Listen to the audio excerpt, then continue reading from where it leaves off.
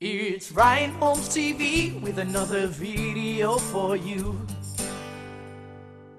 What's up, Rightards? Let's just get right into it. This is my YouTube fame recipe. First, the obvious. First of all, you guys gotta create a YouTube channel. Now, you gotta make it memorable and creative because you want it to reflect the videos that you're gonna post on it later. You want to make sure that the name of your channel is gonna go with the content on your videos. Next, you guys are gonna want to edit your channel. By this I mean adding all your info and all your tags to your channel. Also, you're gonna want an eye-catching background and a layout with nice colors.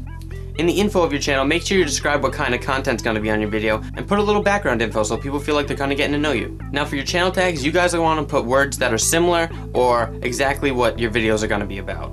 So examples are funny, you know, comedy, spoof, music parodies, stuff like that. The last obvious thing is you guys are gonna need a camera. Now I'm not saying you have to go out and buy a really expensive camera. A lot of people make really good videos with just their webcam, so any camera will do, especially if the content's good. And now for the recipe.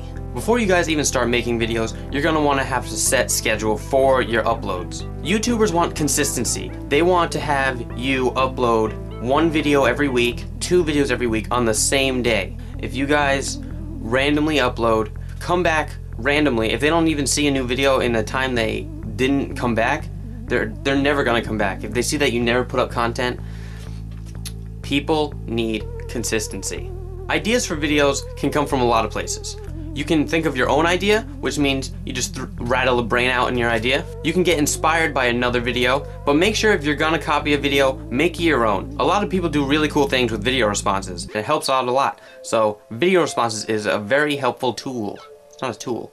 You guys are gonna wanna interact with your viewers in your videos. This means channel comments, comment questions, talking to the camera, and even contests. If they think you're just making your videos and whatever they say is bullshit, they're not gonna come back. They wanna think they're having an influence on your video. Bonus! I feel like a catchy intro or outro is essential to a YouTube channel. People won't even be near a computer and they'll be singing your song in their head. It's gotta be happy, it's gotta be fun, it's gonna make them wanna come back. it's Ryan Holmes TV with another video for you.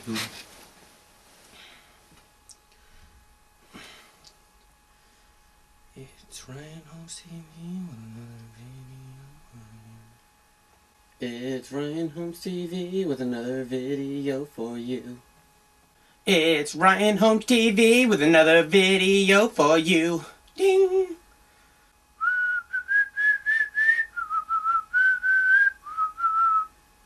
It's Ryan Holmes TV with another video for you. It's Ryan Holmes TV with another video for you. It's Ryan Holmes TV with another video for you.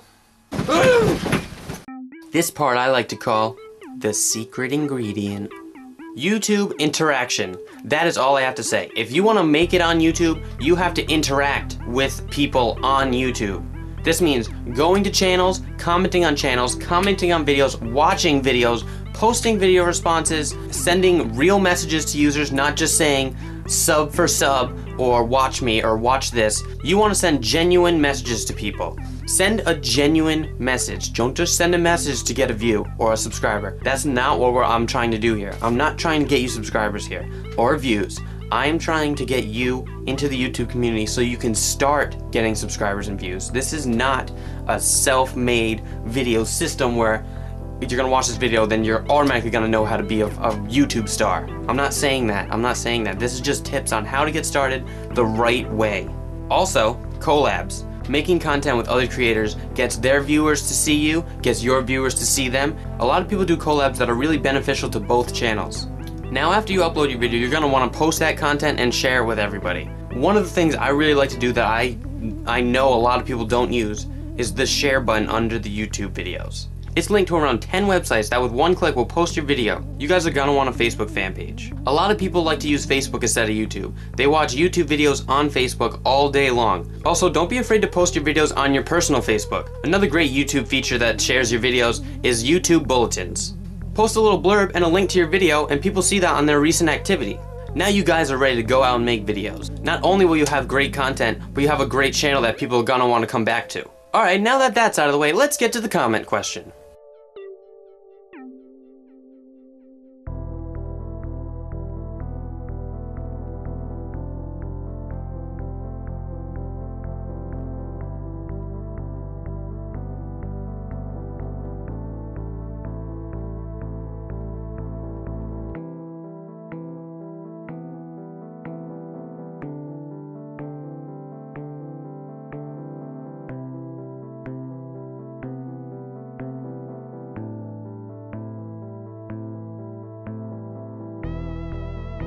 This week's common question is, what would you do if you were me?